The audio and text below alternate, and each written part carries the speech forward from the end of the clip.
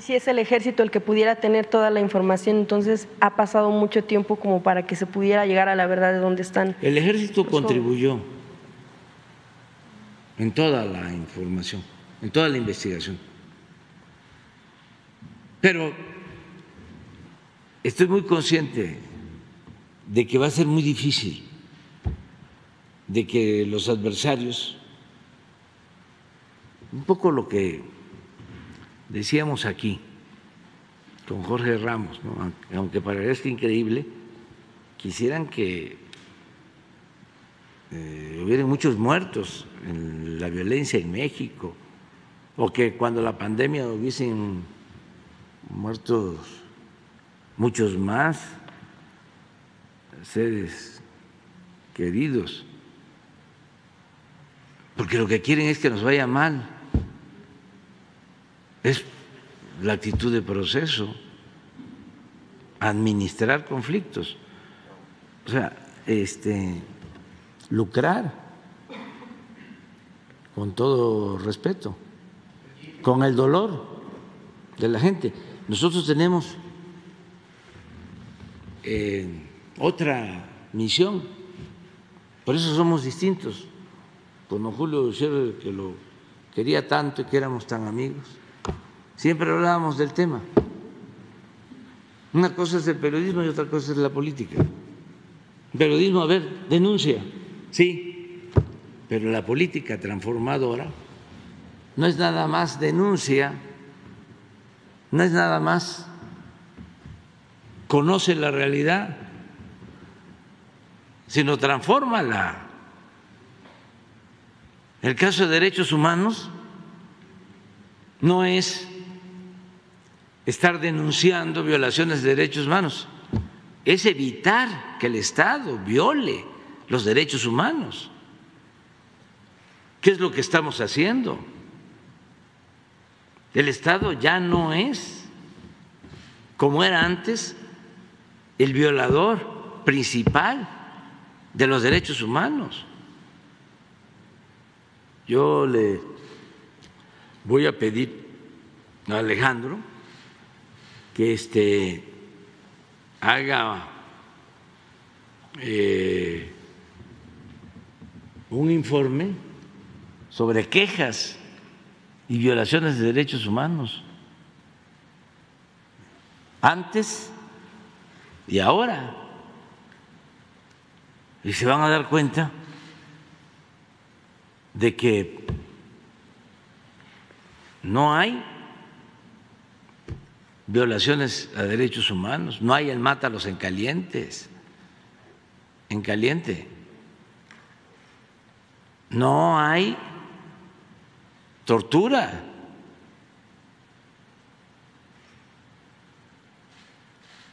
No hay masacres. Entonces no somos iguales. Ah, pero si proceso y todas las organizaciones que se crearon de la llamada sociedad civil o las organizaciones supuestamente no gubernamentales ya no tienen este cómo decir es el Estado, porque yo no voy a permitir que me sienten en el banquillo de los acusados si tengo mi conciencia tranquila. Pero este si estoy aquí para transformar. Que se eh, les cayó el tinglado, lo lamento. Es como los periodistas que no se podía tocar a los intocables. Y que ahora pues ya no tienen impunidad, porque eran este, poderosísimos. Porque si se metía uno con ellos, destruían a opositores. No estoy hablando de todos los periodistas, desde luego.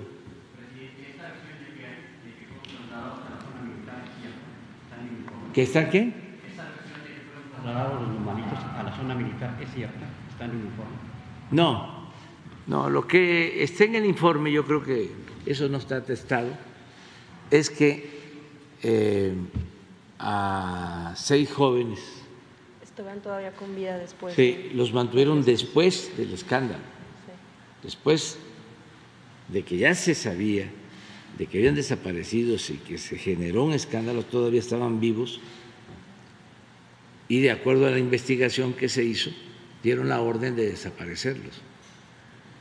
Eso está. Pero no específicamente que entraron al, campo militar.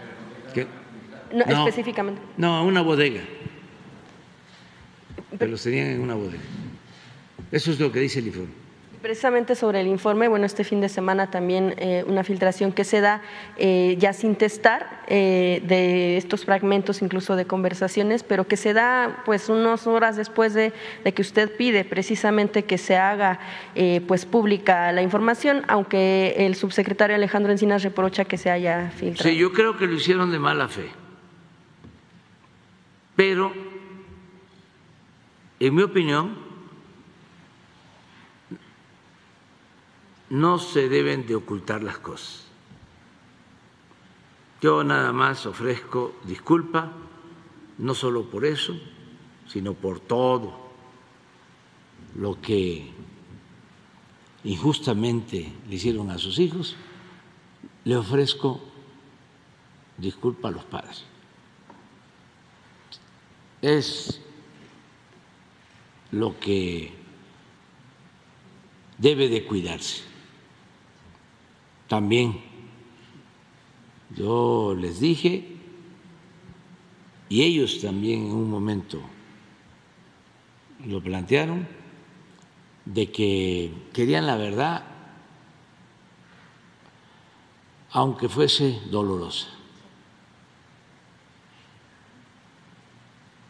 Y sí es muy dolorosa.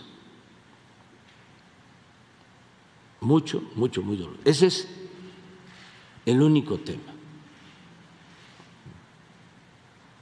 Lo demás es una actitud de, con todo respeto, de sopilotes.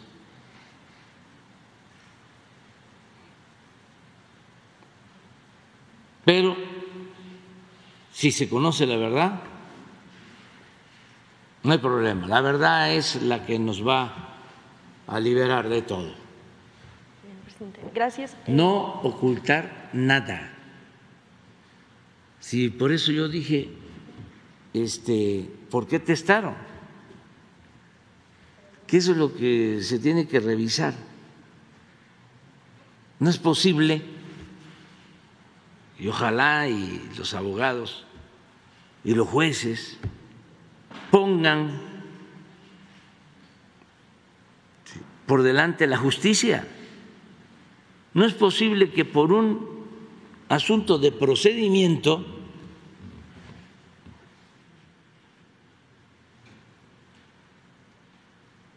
se eh, impida hacer justicia. Porque a lo mejor quienes filtraron este documento sin testar lo hicieron pensando en que de esa manera ya no va a tener validez legal.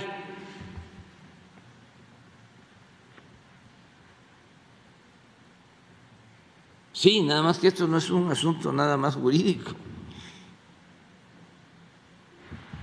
Esto es un asunto de justicia y de Estado.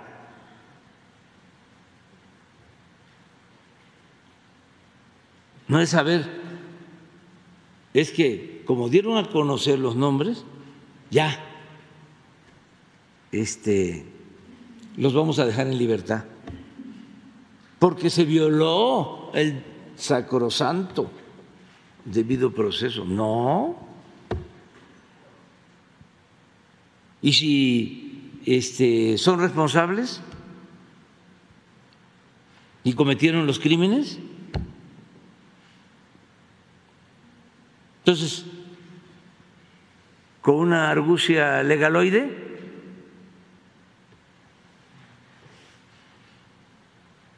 se eh, vulnera la justicia, se pisotea la justicia. No, si lo hicieron con ese fin, están mal, porque nosotros no vamos a dejar de exigir castigo a los responsables. Esas maniobras legaloides, chicanas, no aplican. Y sabemos muy bien de que son bastantes frentes. La prensa amarillista, sensacionalista, los beneficiarios con la corrupción del antiguo régimen, los medios de información convencionales, no todos, organizaciones no gubernamentales, supuestamente organizaciones de defensa de derechos humanos, organizaciones internacionales de defensa de derechos humanos de la ONU y de la OEA, que ya lo he dicho en otras ocasiones, tanto la ONU como la OEA deben de eh, ser reformadas, porque están como florero, son ornamentales. Entonces, vámonos a a seguir con el tema y este no vamos nosotros a fallarle a los padres y también es un asunto de justicia y es un asunto que tiene que ver con limpiar la imagen del Estado mexicano. Porque no queremos también del ejército porque me faltó en la lista las agencias internacionales.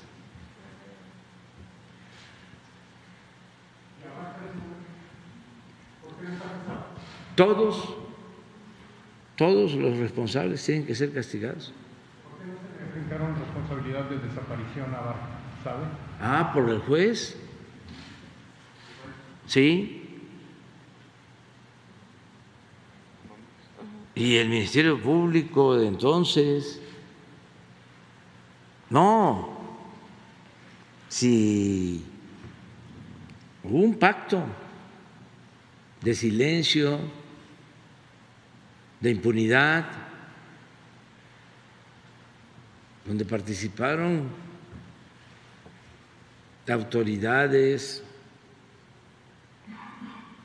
medios de información, todos.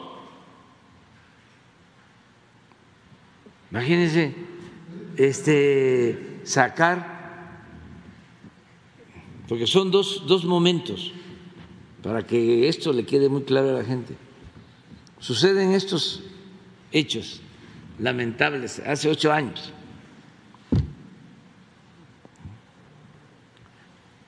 Desaparecen los jóvenes.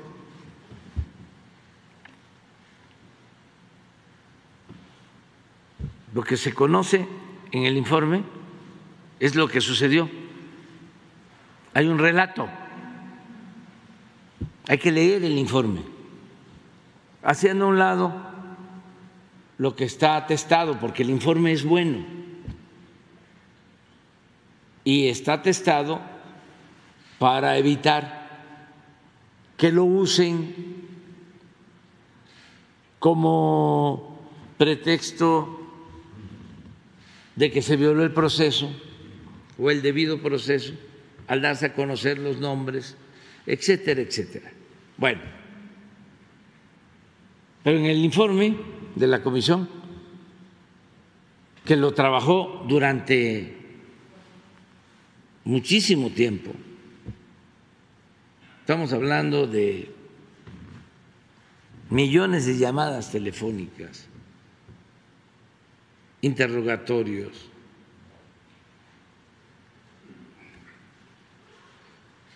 entrevistas, concluyen y hacen el relato de lo que pasa esa noche y los días posteriores.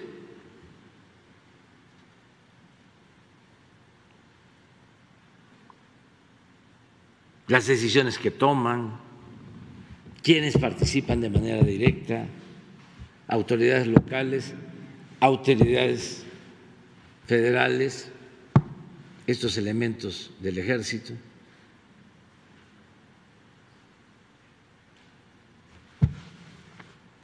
Luego viene otro momento, que es el de fabricar hechos que no ocurrieron. Por ejemplo, el que quemaron a los muchachos.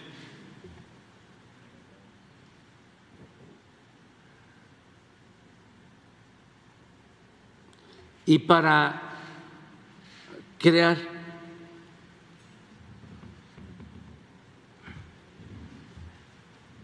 Esa llamada verdad histórica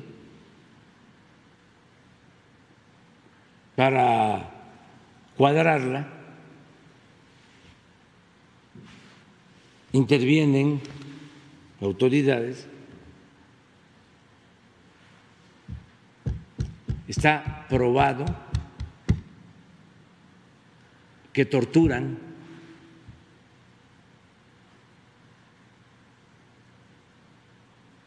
y dan a conocer esa verdad.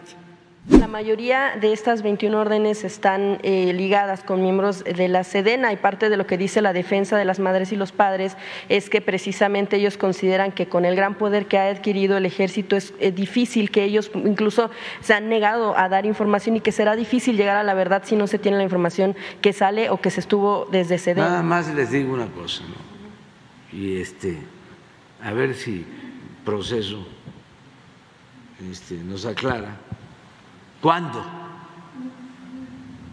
se había este, iniciado un proceso en contra de un general, de un batallón de la Secretaría de la Defensa. ¿Y por qué se actuó así? Porque viene en investigación y vienen cinco miembros del ejército los demás jerarquía.